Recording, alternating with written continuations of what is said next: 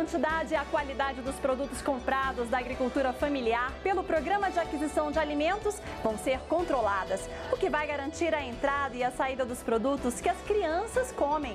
O aumento da oferta de alimentos e da renda dos mais pobres, segundo o Ministério do Desenvolvimento Social, contribuíram para o Brasil sair do mapa mundial da fome.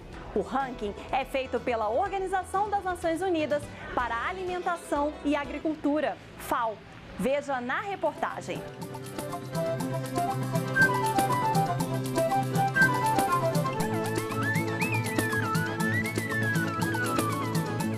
E verduras não faltam na cozinha de Cristina. Mãe de três filhos, ela gasta a maior parte dos 182 reais que recebe por mês do Bolsa Família em alimentação.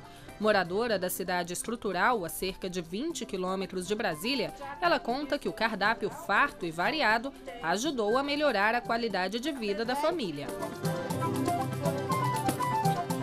Eu compro maçã, banana, frutas, né? Compro legumes, né? Porque a criança também precisa comer. Eu compro danone, coisa que eles gostam, biscoito. Uma das exigências para receber o Bolsa Família é acompanhar com o pediatra o crescimento dos filhos de até 7 anos de idade duas vezes por ano. Tudo deve ficar registrado na caderneta da criança.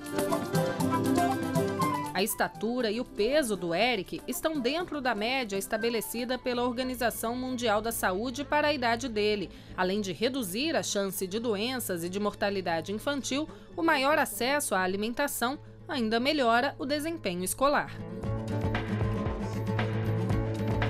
Uma criança que tem déficit de estatura, ela tem uma chance maior de adoecer, ela tem uma chance maior de morrer por doenças relacionadas a infecções, mas ela também tem um risco maior de ter baixo desempenho escolar e necessariamente se tornar um adulto com menor capital humano. O último relatório de segurança alimentar das Nações Unidas para Alimentação e Agricultura, FAO, revela que este ano o Brasil saiu do mapa mundial da fome. Em 1990, 15% da população brasileira sofria com desnutrição e alimentação insuficiente. Atualmente, este índice está em 1,7%. O aumento da oferta de alimentos e da renda dos mais pobres é um dos motivos apontados pelo MDS. A meta agora é ir em busca dos que ainda sofrem com a fome. Nós ainda temos é, que fazer a busca ativa.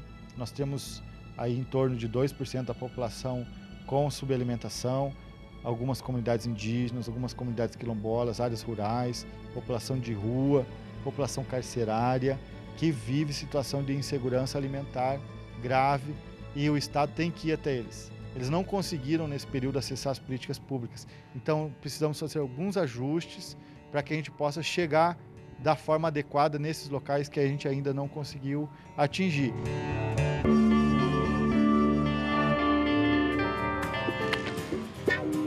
Essa creche na estrutural área carente de Brasília recebe alimentos do PAA, o Programa de Aquisição de Alimentos do Governo Federal.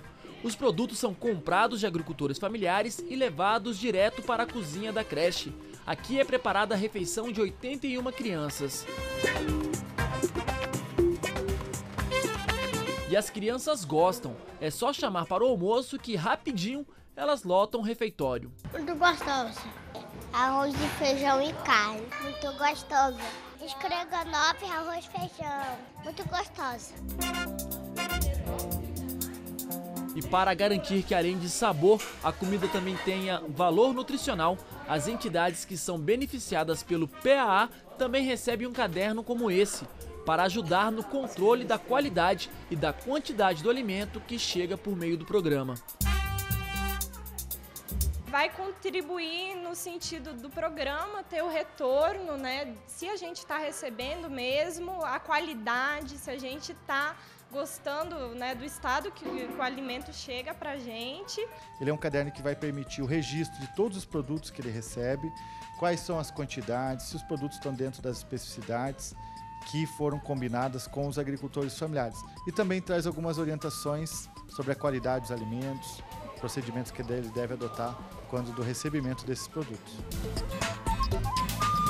a ideia é orientar os profissionais encarregados da alimentação das crianças na escola e garantir alimentação saudável e nutritiva. Quem participa da formulação desse cardápio tem que entender que os produtos têm época, têm safra, né? numa determinada época do ano eles não existem, é, os produtos vão variando ao longo do ano para que você tenha uma dieta com alimentos frescos, saudáveis, comprados localmente.